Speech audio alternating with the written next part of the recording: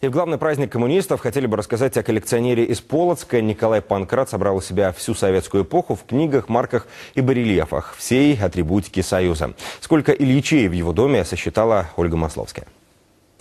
Дом Николая Панкрата называют музеем эпохи Ленина. Сам коллекционер считает, что его собрание тематически шире. Но именно теоретики коммунизма, растиражированные в бронзе, гипсе и бетоне, пользуются наибольшей популярностью. Только бюстов Ленина у Панкрата более 400. И ни один не повторяется. А если всмотреться в лицо вождя, можно понять, из какой республики СССР он привезен. А вот этот Володя Ульянов больше других греет душу коллекционера, ведь именно перед ним и лицом своих товарищей еще школьником Николай Панкрат принимал клятву пионера. А эти бюсты – подарки трудовым коллективам разных предприятий и организаций за победу в соцсоревновании. Экскурсовод по выставке – сам коллекционер.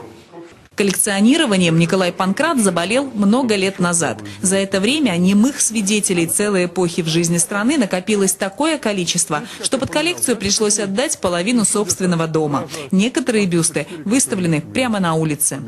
Сейчас на витринах нет и половины имеющихся экспонатов. Если бы позволяли площади, коллекционер запросто мог оформить экспозиции на темы «Ленинский комсомол», «Коммунистическая партия» и «Соратники Ильича». Денег с посетителей выставки Панкрат не берет. Хотел бы заработать, продал бы все заграничным коллекционерам. Только мыслит любитель старины другими категориями. Его эпоха Ленина. Это эпоха в жизни страны.